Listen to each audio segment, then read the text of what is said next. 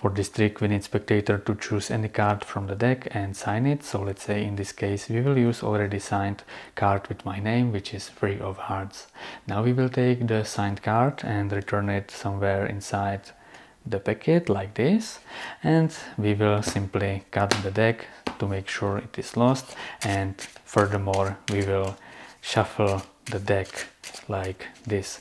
Once we are happy shuffling all I have to do is just snap my fingers like this and believe or not the card traveled from the deck directly into my wallet that I have on a table.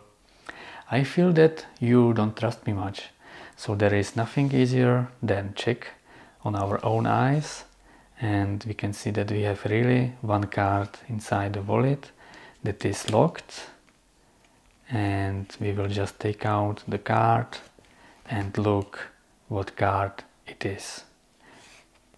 Three of Hearts, your signed card. This is definitely one of the easiest methods I know how to appear signed card in your wallet, but it will still require few things from you. First of all, it is a double back card that you can buy or you can make it by sticking two cards together.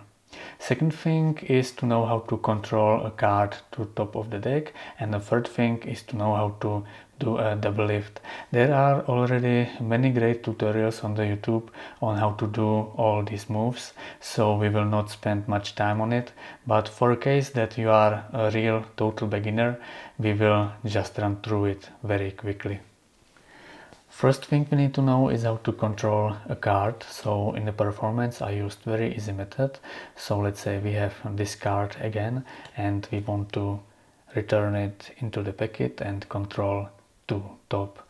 So I pushed it inside the deck and now I applied pressure with my thumb from the top like this and inserted the card fully inside the packet and you see that I have now break between the card and rest of the deck. Now I simply transfer this break from thumb to my pinky so like this. So again I have a break above the selected card. Now I simply cut the deck two times like this and now I have my card controlled to top.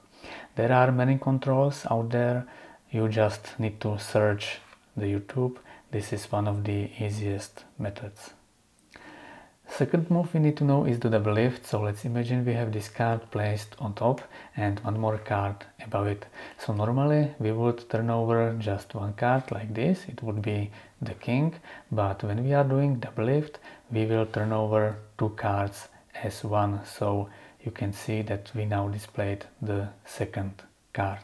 How to do it? It is uh, really simple, but it will require some practice. So you have your setup and now you will take your cards and you have to have it in slight angle like this.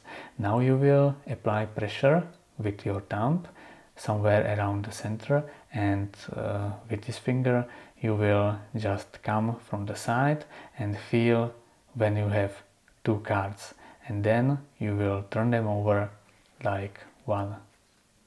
As I mentioned, uh, we will not go through details now because there are already many tutorials on the YouTube and there are also more ways how to do the double lift so you can find your way how to do it.